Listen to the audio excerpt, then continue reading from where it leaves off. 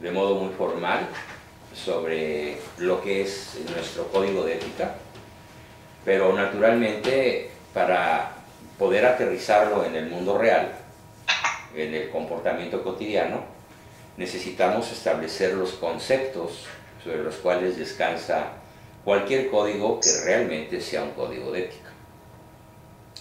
En el mundo de las leyes hay muchos códigos y la inmensa mayoría, desgraciadamente, son como códigos penales, civiles, mercantiles, pero difícilmente se atienen estos códigos a la ética. Voy a poner un ejemplo muy dramático de lo que acontece cuando un código penal o un código civil o mercantil no se atienen, o empresarial, como en este caso, no se atienen a la ética. De muchos de ustedes he sabido que la señora Elvester Gordillo, una de las personas más corruptas en la historia de México, la que más dinero logró llevarse a sus bolsillos y gastárselos en fruslerías carísimas por cientos de millones de pesos y aún de dólares, hace dos o tres días salió en libertad. ¿Por qué no pudo ser procesada? Porque a pesar de haber gastado 100 mil millones de pesos, estoy dando una cifra conservadora, 100 mil millones de pesos, en eh, fruslerías, en caprichos, en casas, en México, en el extranjero, en viajes, en ropa, en joyas. La señora no podía comprar nada menos que Neyman Marcus en las tiendas más caras de Estados Unidos, Saks, qué sé yo. Eh, esas tiendas a donde nosotros nada más entramos a, a oler y salimos frustrados por no poder comprar absolutamente nada, dados los precios prohibitivos. ¿Cómo es posible que una persona así haya salido de la cárcel y ahora ella sea la que va a perseguir a sus eh, acusadores, la que está demandando a periodistas como Carlos Loré de Mola, por ejemplo, que no hizo otra cosa más que decir la verdad, la verdad verdadera, no necesariamente la verdad jurídica, pero sí la verdad que estuvo a la vista de todos durante muchísimos años. La razón de esto es que la inmensa mayoría de las leyes que nos rigen en las sociedades actuales eh, son legales.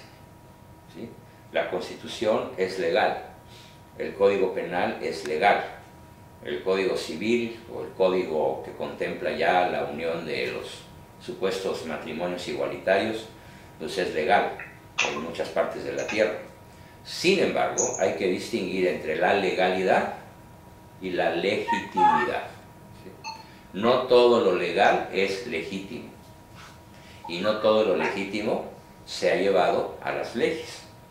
Hay multitud de leyes que no contemplan de ninguna manera, ni de lejos, las necesidades de una familia, de la población, de un lugar de donde vive un grupo de personas.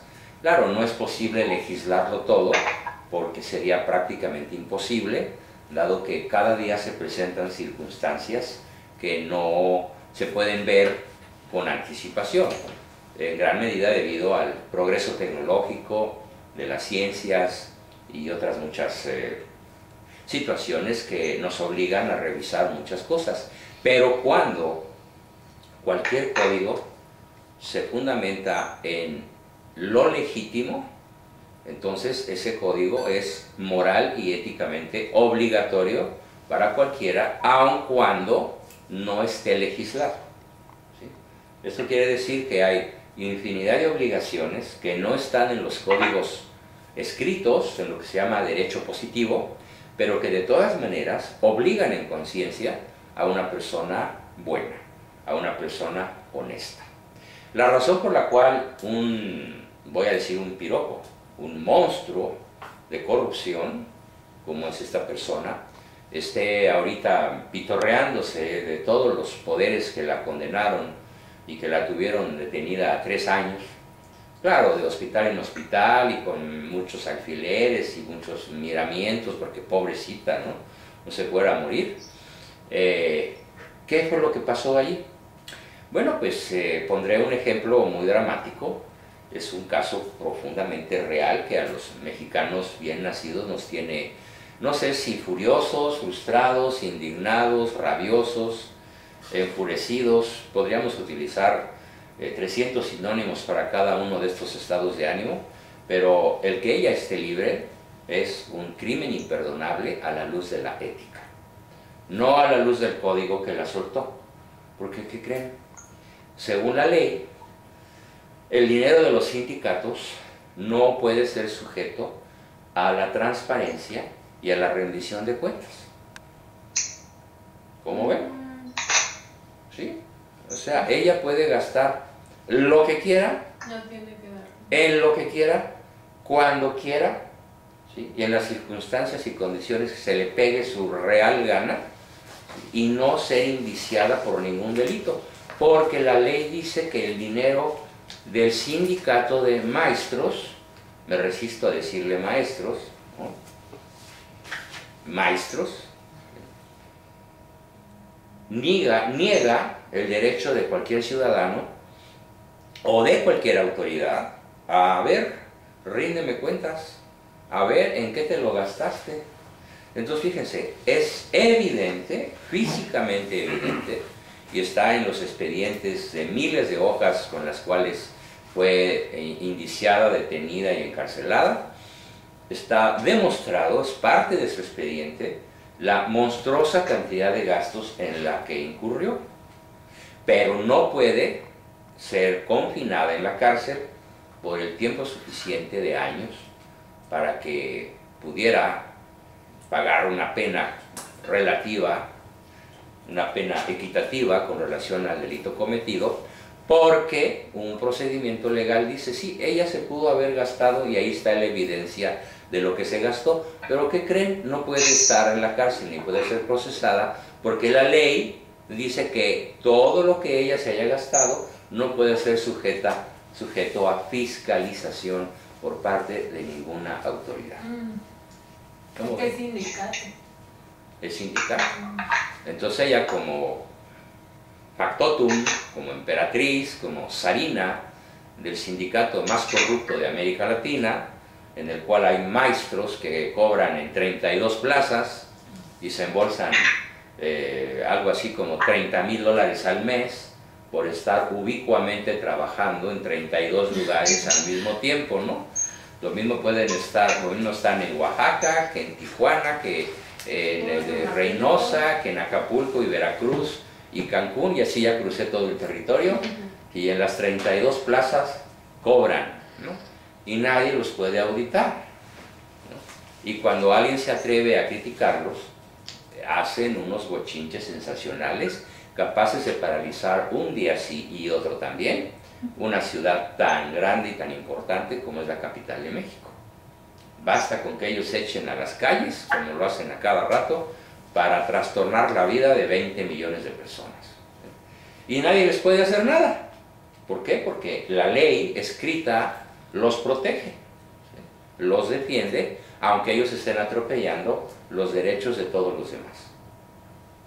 Es un ejemplo tremendamente real que está ocurriendo en estos días, el hecho de que el derecho escrito, la ley positiva escrita, haya sido escrita con solo una finalidad, proteger a los delincuentes que nos gobiernan, proteger a la pandilla de criminales que tienen en su poder a México, cuando menos desde 1928, cuando Plutarco Elías Calles inventó el PNR, el PRI, y que si algunos vieron ya por muerto al Priranosaurus Rex, qué equivocados están, porque hoy el primor, el que acaba de ganar las elecciones, ganar entre comillas, elecciones entre comillas, porque ni ganaron ni hubo elecciones es mucho más complicado de explicarlo.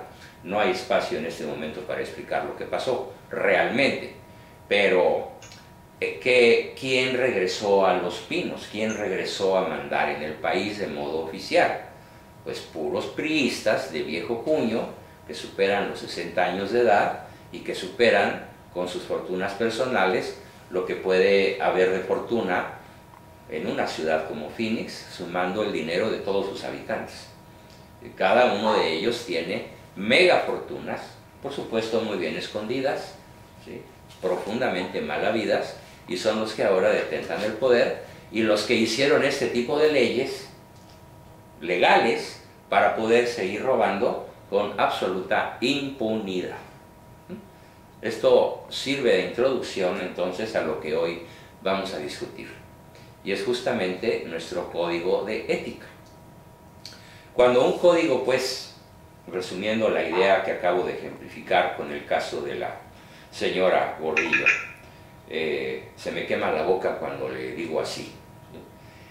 Eh, cuando una sociedad, cuando una empresa, cuando una familia, una organización cualquiera, eh, inclusive el ejército, la iglesia, una organización policial, privada o pública, no sigue el derecho natural, es legal, pero no es legítima. Por lo tanto, el primer paso que nos conviene dar en esta sesión es revisar a fondo qué es la ética. ¿Qué es la ética? Porque si no tenemos un pleno conocimiento profundo de lo que es la ética, pues entonces nuestro código va a carecer de sentido y podrá ser violado impunemente porque a lo mejor alguno de los párrafos que sanciona una determinada conducta pues no está contemplado aquí, no se escribió y como no está escrito se puede alegar, no, pues tú no me puedes sancionar por haber hecho esto porque no está en el código. Y todos los días se van a presentar circunstancias en las cuales el código pudo haber pasado por alto porque el futuro no lo conocemos. Por lo tanto, el fundamento no es la lista de conductas incorrectas. El código no se agota ahí. Para que entendamos muy bien el sentido del código, hay que entender entonces la ética. Es lo primero que vamos a explicar en los siguientes minutos. Eh, por lo tanto, yo lanzo la pregunta al aire, vamos a decir cada quien nuestro concepto de ética y a una vez que todos hayan dado su opinión sobre qué piensan que es la ética, yo no voy a, decir nada, sino hasta que todos hayan dado su punto de vista. Entonces yo doy no mi punto de vista, sino una definición objetiva, universal, contundente, unívoca, clarísima de lo que es la ética que es un asunto no opinable. No opinable. Claro, todos tenemos derecho a emitir opiniones, aunque no sepamos que no sabemos. Por lo tanto, a ver, entonces lanzo la pregunta al aire, ¿qué es la ética? Los escucho. Mm, pues es una ciencia um, ¿Comenzaste bien? Es, es una ciencia. Una ciencia ¿Qué qué? La química es una ciencia. Sí, es lo único que yo también sé que es una ciencia. Y la física es una ciencia. enfocada en, las actitudes buenas No, no en las actitudes. De las actitudes se ocupa la psicología, que también es una ciencia. A ver. Es lo único que sé que es una ciencia, de ahí ya no tengo más conocimiento. A ver, te veo muy pensativa. ¿Piensas bajar la inspiración de la nube? No. no. Em,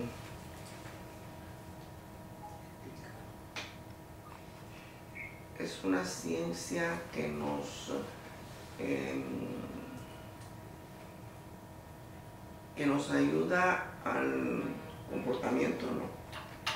Comportamiento, ¿no? fuera. Sí puede ayudar, pero no es prácticamente su definición. No es un auxiliar, es infinitamente más amplio el concepto que el mero hecho de que sea un auxiliar o un ayudante. No te me vayas, Juan Carlos, que tú también tienes que... Ah. no temas como Judas temió. No. Una conducta que, eh, ¿Qué es la ética? La ética. Ah, pero le toca a. Ah, ah. no, yo no sé. Sí, usted sabe, José. ¿no? De hecho, ya tuvimos esa plática, pero no la recuerdo. Entonces, como yo sé que solo se aprende repitiendo, hoy vamos a revisar que la única palabra que se les quedó es que es una ciencia. Sí, pero pues, ¿cuántas ciencias hay? Hay docenas de ciencias. Y cada una tiene su objeto formal. Por ejemplo, la física se ocupa de los cuerpos físicos, en tanto no sufren transformaciones químicas. Si sufren transformaciones moleculares, si cambian las moléculas de ese objeto an- analizado por la física, ya no es física, es que química. Muy bien. Entonces, la química y la física se parecen porque se ocupan de la materia, pero son radicalmente distintas. ¿Sí? ¿Ok? Bien, entonces, a ver, no recuerdas, pero ¿qué sigue después de eso una ciencia? Es una ciencia que qué.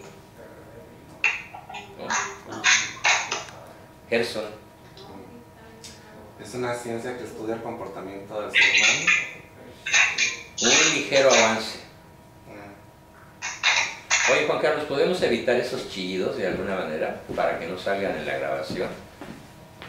¿O? Solo preguntarle que lo ponga en mute, sería. Que lo silencie. Que ella porque ella no habla. Ah, ¿quiere decir eso? ¿Dónde? Que lo ponga allá, en- que lo ponga que... No, No, no, no, que- ya ella el, el volumen lo, lo pone en... Que si puede silenciar. Que no se esté oyendo el chillido de la Está interferencia moviendo o está moviendo algo y se oye muy feo y queda grabado. Ah, ya silenció Diana la llamada. Ok.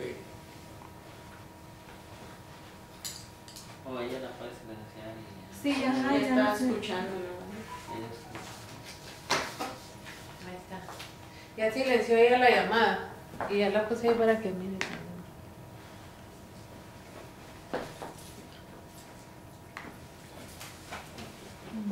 Muy bien. 80, 20, 18. 20, no, 80, 20, um, sur, 28, place. 85, 0, 42. Mm.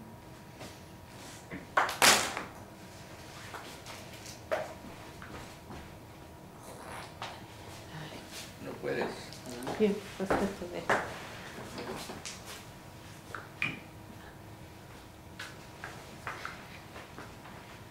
Ah, muy bien. Estupendo. Bien, entonces Juan Carlos te toca. A ver, bueno, no, primero Andrea. ¿Qué es la ética? Ay, ya se me olvidó. Eh, es una ciencia que estudia la conducta del ser Algo así, no me acuerdo. Me copiaste. Me acuerdo. La psicología también es una ciencia que estudia la conducta humana. Pero la psicología no es la ética y la ética no es la psicología y sus objetos formales son radicalmente distintos como lo son los de la química y la física. Sí, es que se nos dijo la otra vez. Las virtudes, ¿no? Lo virtuoso. Vaya, los ya recordaste algo, pero Sí, yo Sí, me acordaba que las buenas conductas o algo así era, pero no me acuerdo que las virtudes de la conducta humana. algo así. bueno, esto lo van a tener que estudiar y va a haber un examen. Ok. ¿Cuándo es el examen? Surprise, Suficientes tengo surprise. Si Voy a dar un tiempo. no se da. ¿Eh? No, pues no. Voy a dar un tiempo mínimo y un tiempo máximo, más bien cercano que lejano, porque además ese es el fundamento para que todos reciban su resultado individual de los test que hicimos. Yo vi una, que quiero hacer un comentario con eso Sí. que está diciendo el doctor. Yo vi una película, no me acuerdo cómo es, qué se llama, pero eh, este muchacho era, eh, estudió finanzas y trabajaba en el World Trade Center y no sé qué, para una compañía súper grandísima y decía él, ya me cansé de robarle a los bancos, porque ellos supuestamente hacían, eh, eh, le compraban préstamos a los bancos, cosas así, pero pero obviamente que las negociaciones le convenía más a la compañía que a los bancos, ¿verdad? y a la gente. Entonces, porque ellos sacaban dinero de ahí, de malas inversiones y de cosas así, como aprovechándose de la necesidad de los bancos y la gente. Entonces, dijo, eh, él trabajó mucho tiempo con esta compañía eh, y le dedicó mucho tiempo y como era súper inteligente, ¿verdad? Pero llegó un momento en que lo despidieron porque llegó a ser el vicepresidente, pues no podía ser presidente porque era el dueño, ¿va? Pero llegó a ser el vicepresidente y después de un tiempo lo despidieron porque ya no daba más, o sea, él ya no quería seguir en la misma, o sea, sí se inventó muchas maneras, él creó muchas maneras de, a nivel financiero de cómo sacarse provecho de la gente y de los bancos. Pero llegó un momento en que él sentía que eso no estaba correcto. O sea, no era ético, ¿verdad? Que no era correcto. Que aunque- Era legal, pero no era ético. Exacto, que aunque él ganaba mucho dinero y todo, no. Dijo, no, yo no podía, era un cerebrito andando, ¿verdad? Pero dijo, bueno, de aquí gano, vivía muy bien y lo despidieron un día solo. Ah, ven, que tenemos una reunión y él, ah, y digo, bueno, ya estás despedido, muchas gracias, que te vaya bien. Y él se quedó, pero yo hice ganar millones de dólares a la empresa. Oh, sí, era tu trabajo, pero ya no te necesitamos, te puedes ir.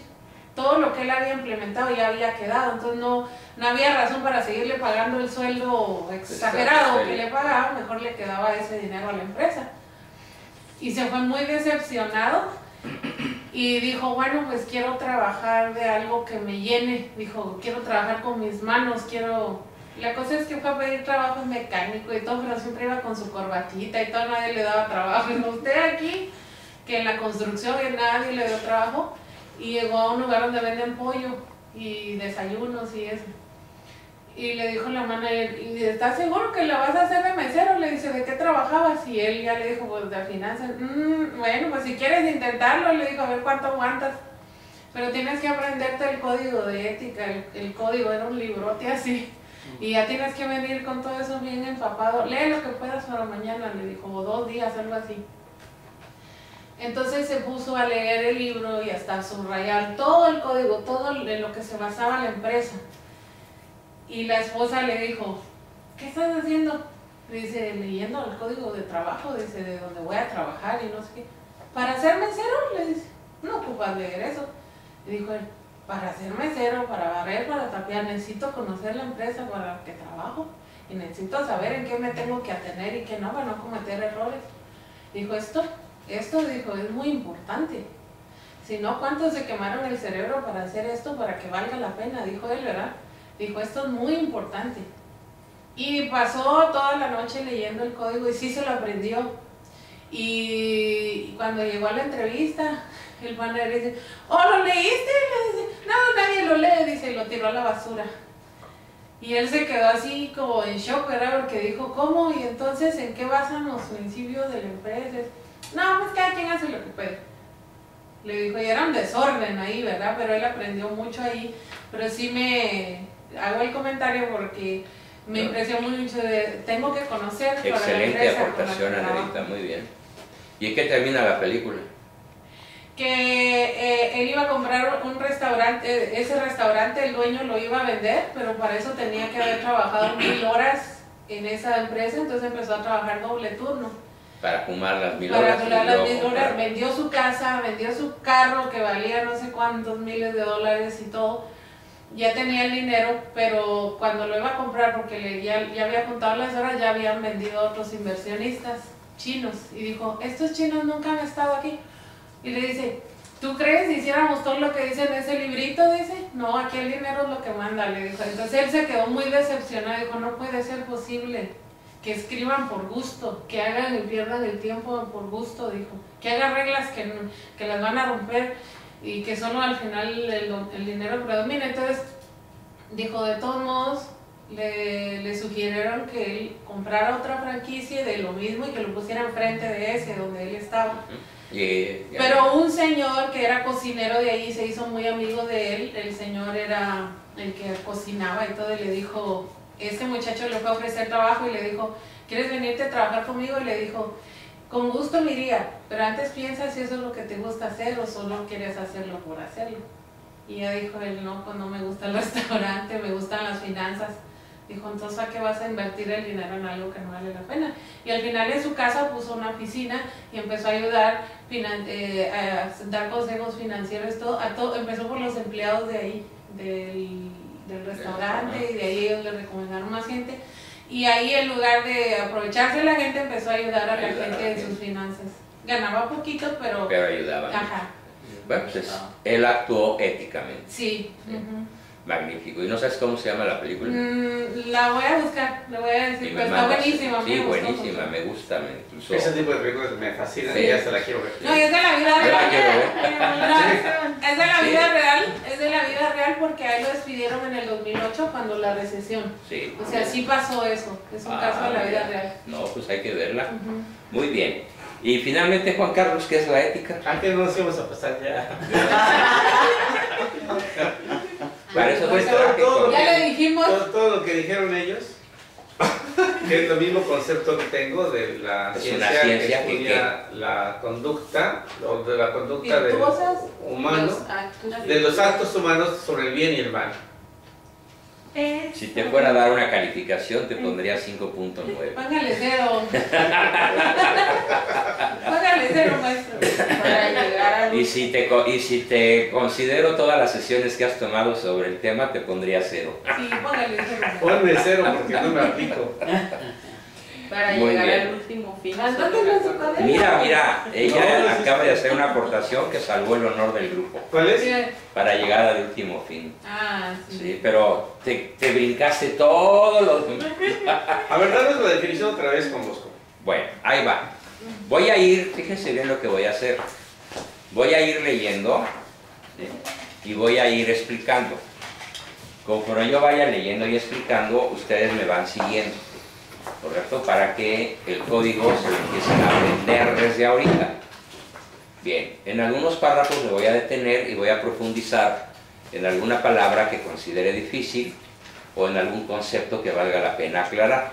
Pero vamos a darle seguimiento a lo que está escrito Ah, por muchas razones de orden didáctico y de orden práctico. Entonces comenzamos. Eh, para empezar entonces a entender muy bien nuestro código y que llegue el momento de aterrizarlo, de hacerlo forma de vida, tenemos que comenzar por la parte conceptual. Después lo vamos a hacer una parte afectiva. Y finalmente el código va a funcionar cuando forme parte de nuestros hábitos cotidianos de excelencia que se llaman virtudes. Eh, introducción. ¿Qué es la ética? Bueno, para estar siempre, tener siempre a la vista nuestra visión, que es la visión de una empresa, es el lugar a donde desde hoy contemplamos que ya llegamos. Vamos a dejar de ser una pequeña tienda para ser una organización formal, ¿no? que presta determinados servicios que todo el mundo conoce bien. Eh, cumplir nuestra misión, que no es lo mismo que la visión. La misión de toda empresa está generalmente compuesta por cinco grandes objetivos, que son dejar encantado al cliente, desarrollar los recursos humanos, que son el principal capital de cualquier organización, utilizar los mejores proveedores, eh, manejar la mejor tecnología, el mejor mobiliario posible dentro de las limitaciones y capacidades de la empresa y darle a los accionistas el rendimiento de mayor eh, cantidad y al menor plazo posible, sin incurrir en este último concepto en la usura. Cuando una empresa sigue estos cinco objetivos, estas cinco bases de una misión, podemos hablar de una empresa triunfadora. ¿Cuál es la número dos? Dijo de Clientes satisfechos, Ese es el primero. Clientes encantados y felices. recursos. Ah, Segundo, desarrollar los recursos humanos, porque es el principal capital, el capital humano. ¿sí? Tercero, Utilizar escoger y utilizar los mejores proveedores. Cuarto, tener siempre disponible la mejor tecnología, el mejor mobiliario, los mejores recursos materiales. Y quinto, capitalizar bien y pronto a los accionistas que invirtieron su dinero Sin incurrir en los sin incurrir en la usura. Muchísimas empresas, la mayoría, para lograr el quinto objetivo, que es el que ponen en primer lugar, pues le bajan gramaje a la comida, ¿no? Eh, le dan litros de a 950 mililitros, Pagan salarios bajos. pagan salarios bajos, eh, salarios de hambre, de miedo. Es un crimen que clama al cielo y que de hecho lo tiene mm, de, de diferentes formas todas las corrientes políticas, tanto de izquierda como de derecha. Siempre el que sale atorado es el trabajador. Desgraciadamente, tanto en los países capitalistas como en los países comunistas, las masas obreras son las más desfavorecidas en todos sentidos. Eh, para lograr entonces nuestra visión y cumplir nuestra misión, es conveniente que aterricemos nuestros principios. Los principios son como las eh, bases de control, los pilotes de control de un gran edificio que impiden que el edificio se caiga y que facilitan que el edificio se mantenga en pie cuando hay un terremoto intenso, como por ejemplo en la Ciudad de México, la torre latinoamericana está construida sobre unos pilotes de control que tienen resortes. Y aunque el edificio de 45 pisos se menee muchísimo, no se cae porque los pilotes de control subterráneos muy profundos, diseñados específicamente para una zona telúrica de alto grado de peligro, eh, impiden que se caiga, aunque se la dé y los que están arriba den gritos de terror, ¿sí? pero no se cae. Entonces cuando una persona tiene pilotes de control profundos, eh, hondos principios en su vida, no importa, no se cae porque aunque la tentación de incurrir en delito, en pecado, en crimen, en desobediencia, en errores éticos graves, sus principios son tan profundos, están tan bien arraigados, que podrá tambalearse, podrá doblarse, pero nunca romperse ni caerse. ¿Sí? Bien, pregunta. No, yo nomás quería ah, comentar, por ejemplo, como el caso que está corriendo en las redes sociales sobre este trabajador de Bimbo Ah, bueno, que, sí. le, que le roba Eh, y- sí, llega un trabajador de Bimbo, un repartidor de gansitos y todo eso, y sale un viejito en su tiendita y le deja un determinado número de, no sé si chocorroles o algo así, y se mete aquí a la chamarra un tambachote, y, y al viejito dueño de la tienda lo apapacha y le hace creer que dejó bien la mercancía, pero ese queda con más de la mitad. Y bueno, ya la detuvo, ya lo detuvo la policía. eh, y yo digo, bueno, ¿en qué país vivimos donde alguien que se roba 100 pesos en mercancía va a la cárcel Y alguien, y alguien que se roba roba 100 mil millones proclama su inocencia y su libertad? Antier estaba yo en el Ranch Market y mm, llegó el manager. Yo estaba haciendo línea esperando que me atendiera y llegó el manager. El señor no me había visto y ya le levanté la mano, pero en eso le dijo, oye, chaparro, cámbiame este, esta carne y ponle el código de no sé qué, de la carne más barata que había. Y él llevaba una carne cara. Entonces el carnicero vino y le cambió el código, lo pesó y, y yo esperando porque a mí me tocaba que me atendiera. Pero ¿Viste la manager sí, Ujú. vi la tranza y aparte el manager ni siquiera me esperó que me atendiera a mí. O sea, dije, ¿qué tipo de manager Mm. tienen aquí? Tú, No, este Ranch Market está de pie de, de- de puro milagro porque tres paquetotes de carne y pago como cuatro dólares por cada paquetote de carne. Fíjate. Bueno, entonces cuando no hay principios, podemos aplicar el muy mexicano dicho de el que no tranza, no avanza. ¿sí? Y es una realidad nacional cada día más extendida, más grave, más eh, deleteria, más corrosiva y destructiva para todas las, las capas sociales. Bueno, entonces existen dos formas de ver la ética. La forma teórica es una definición y la forma práctica es una forma de vida. ¿Cuál es más importante? Evidentemente la más importante es la forma de vida, pero es muy importante la definición teórica conceptual, porque si no conoces el concepto, no puedes poner en práctica nada. Es como si yo les dijera, a ver, ustedes equipo de fútbol, hoy van a jugar contra los Harlem Trotters, ¿no? Y tienen que jugar con Eutrapelia para ganarle. Me van a decir, ¿y eso de Eutrapelia se come o vuela? Y ella cuando jugó con Y ya cuando jugó con nosotros. No, Eutrapelia no es una muchacha, no es una jugadora, Ah, es una virtud. Que consiste en jugar con nobleza. Fíjate, tú creías que era una persona, ¿no? Eutrapelia, sí. Pensé que era un equipo. Noelia, Yo pensé que era un equipo No, yo me imaginé que era algo así como con rapidez, No, con ligereza. no. Eutrapelia es competir con nobleza y alegría. Es una virtud deportiva de primerísimo nivel. Muy parecida a lo que ahora se llama fair play. ¿Sí? Eutropelia. Eutrapelia. Eu- Si no tienen el concepto teórico de eutrapelia, no lo pueden No, aplicar. pues me dice eso y yo me quedo. Te quedas. y eso juego.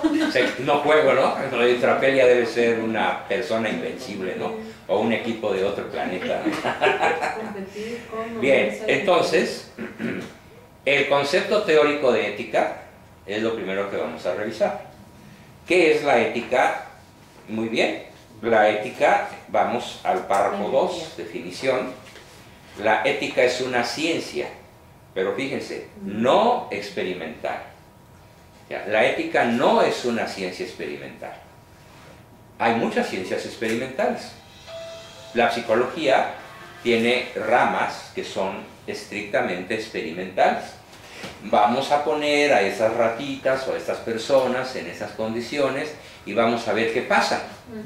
Y una vez que analizamos lo que pasa, podemos sacar principios circunstanciales y también principios universales.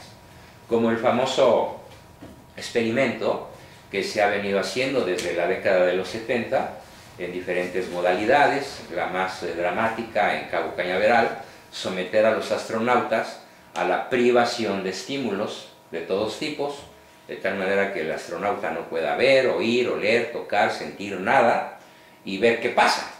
Ese es un experimento. Y lo que pasa es que al final o a la mitad del experimento, el astronauta, privado de caricias, privado de afecto, privado de tiempo, privado de toda sensación proveniente del exterior, enloquece, Ajá.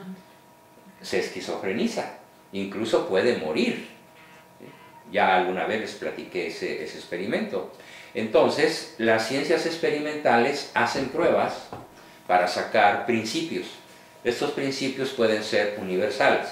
Por ejemplo, hace, no sé, creo que más de 2000 años, un famoso eh, científico eh, griego dijo que si hubiera un espacio perfectamente vacío, en un espacio vacío, una pluma de ganso o de una pluma de ave y un pedazo de plomo caerían a la misma velocidad. Él no lo pudo comprobar porque en aquella época no había manera de comprobarlo. Pero la teoría decía que sí, que si no había gravedad ni resistencia, si no había eh, la resistencia del aire, si estaba absolutamente vacío, tanto el pedazo de plomo como el pedazo de pluma caerían al mismo tiempo. Y ese experimento se hizo hace unas cuantas semanas y está en YouTube por si lo quieren ver. Y sí es cierto. Y si es cierto, Porque no hay gravedad. ¿sí? Pues, ¿Sí? La pluma y el plomo caen a la misma velocidad si no hay atmósfera. En el vacío perfecto no es que pesen lo mismo, No. es que son atraídos por la gravedad hierro. a la misma velocidad. Ah. Hierro y, y una bola de papel, lo mismo. Lo mismo, caen a la misma Eso velocidad. nos enseñaron a nosotros. ¿Sí? Pero hasta ahora, dos mil y pico de años después, se pudo hacer el experimento. Entonces, hay muchísimas ciencias experimentales y es bien válido experimentar y no podemos adquirir conocimientos válidos sin experimentar. Pero la ética no es una ciencia experimental. No vamos a probar a ver qué pasa si le pongo los cuernos a mi mujer. Eh, eh, ¿quieres No vamos a probar a ver qué pasa si expide un cheque sin fondo, ¿sí? con la intención de robar. No vamos a probar a ver qué pasa si yo le disparo a una persona a 5 metros, siendo ella inocente y sin que me esté atacando y sin tener que defender mi vida. Decir, la ética sigue principios inconmovibles, sigue principios inmodificables y sigue principios eternos y universales, la ética. No es lo mismo la ética que la moral.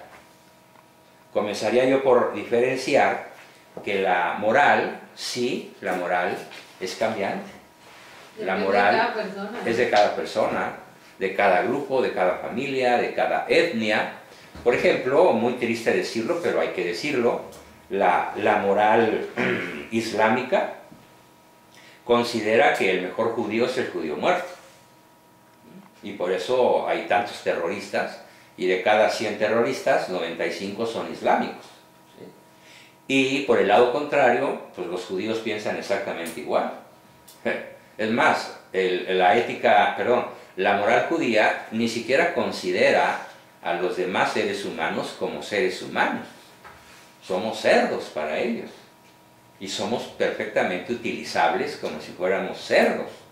Pues para la moral judía, el árabe muerto es el mejor árabe. ¿sí?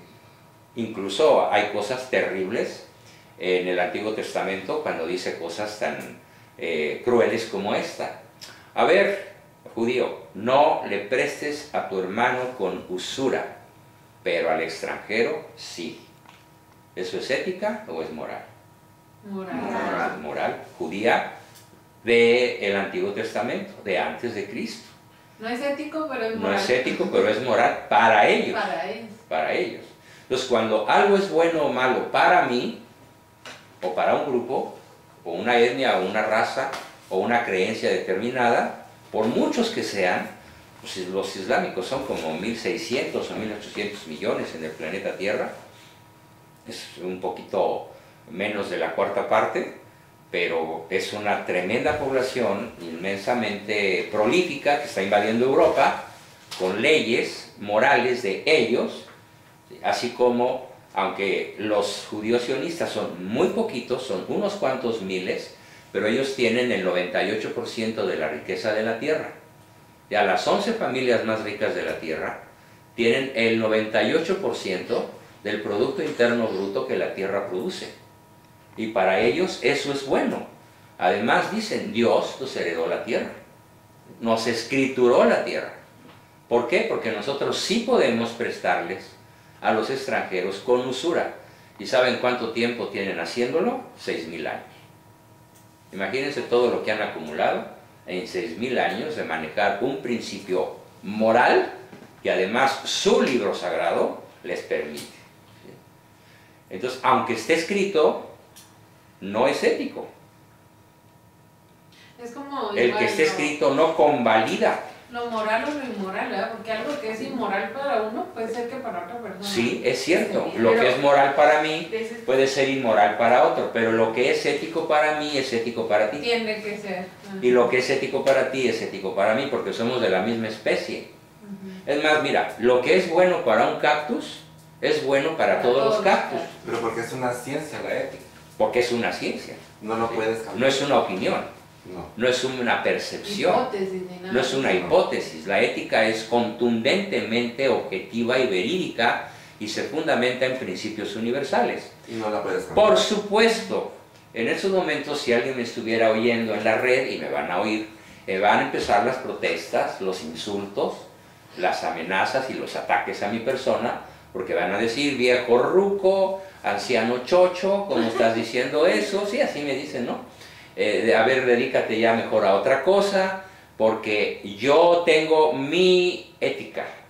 Yo, lo que es bueno para mí es malo para otros y lo que es malo para otros es bueno para mí. Y entonces caemos en lo que se llama el relativismo. El relativismo es una visión filosófica profundamente equivocada que considera algo tan absurdo como esto. Todo es relativo. Entonces yo digo, si todo es relativo, ya hay algo que es absoluto, ¿no? Tu afirmación de que todo es relativo es absoluta, entonces Pero cae por su propio peso, es insostenible. Si Bueno. todo es relativo, no es cierto, porque lo que dices tú es absoluto. Tendrías que decir, algo es relativo. En efecto, algo es relativo. ¿Sí? Pero la mayor, ¿Mm? pero no todo, no todo, porque si todo fuera relativo, se convierte en absoluto. se convierte, esa afirmación absoluta se destruye a sí misma. Como el siempre y el nunca. Exacto. Luego es falso que todo sea relativo. En donde eh, se encuentra el mínimo margen de relatividad, de relativismo, es en la ética. La ética es absoluta, aunque nadie lo sepa.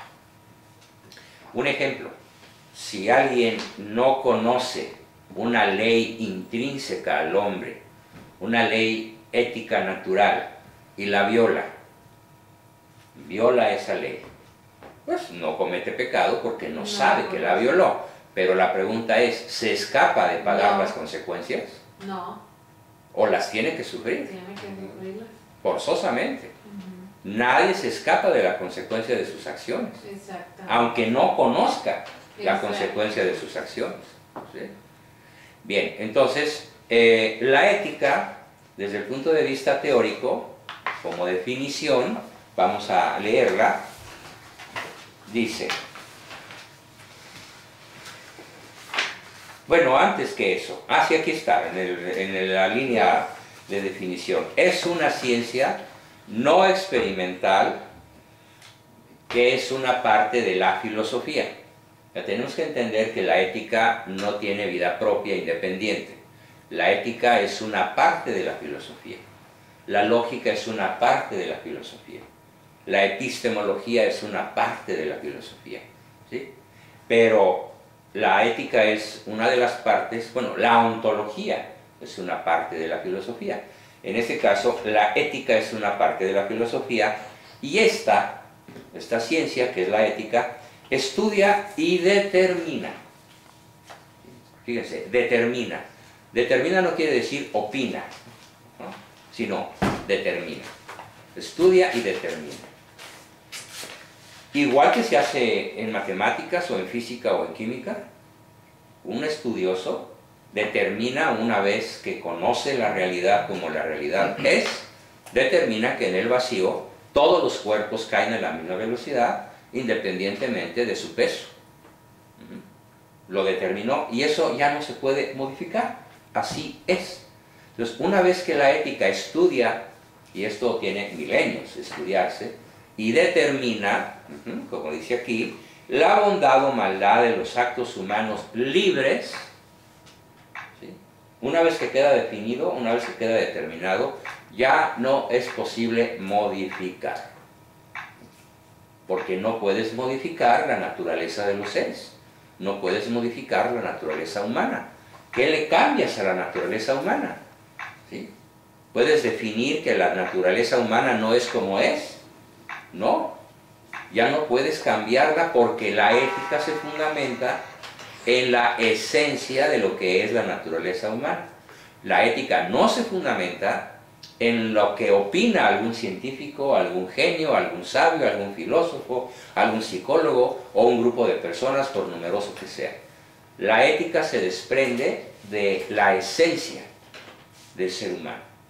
Somos esencialmente determinada de, de determinada forma, de determinada manera. De hecho, vamos a repetir aquí la definición de ser humano para que se entienda que la ética se desprende de la naturaleza. ¿Correcto? Voy a poner un ejemplo. Hace algunos años, muchos años, eh, desde niño a mí me han gustado mucho los cactus, cultivar cactus. ¿Por qué? Porque dan las flores más hermosas de la creación. A lo mejor ustedes no han tenido tiempo de darse un paseíto por ahí en el desierto de Arizona Ah, y tengo quedarse con la- el ojo cuadrado viendo las increíbles y maravillosas flores que dan los saguaros Ujú. y otras muchísimas cactáceas, ¿no? Bueno, yo sí. De hecho, si quieren en un intermedio les presumo mis fotos, ¿no? Para que vean lo que es canela. Entonces, yo compré cactus, los sembré en mi jardín y unos meses después todos estaban muertos. Mucha Todos agua. se pudrieron, ¿sí? Mucha agua. No solo. Entonces, después de la cuarta o quinta vez que me gasto una buena lana en comprar cactus, finalmente se me ocurre, qué tonto que no se me ocurrió antes, consultarlo con un jardinero profesional. ¿sí? el, el dueño de un invernadero, y me dice, a ver, pues déme chance de ir a su casa y ver cómo los tiene plantados, ¿no? Sí, pues ya llegó y se empezó a reír de mí a carcajadas, ¿no? Dice, mire, son tres errores, por eso sus cactus siempre se le van a morir. ¿Pero por qué es? Porque está usted actuando contra su naturaleza. Para que los cactus vivan, usted tiene que conocer su naturaleza y crear condiciones favorables a su naturaleza. usted no puede cambiar la naturaleza del cactus, así como nadie puede cambiar la naturaleza humana. Es como es, te pese o te guste, es como es. Bueno, ¿y cuáles son mis tres errores? Primero, el primer error es que el terreno tiene que estar en declive para que el agua corra con libertad. Segundo, no le ponga tierra de humus. ¿sí? tiene que tener tierra arenosa con una alta concentración de minerales y tiene que ser muy porosa. Arena, la arena le va a servir más que la tierra más fértil de humus, para que no retenga agua.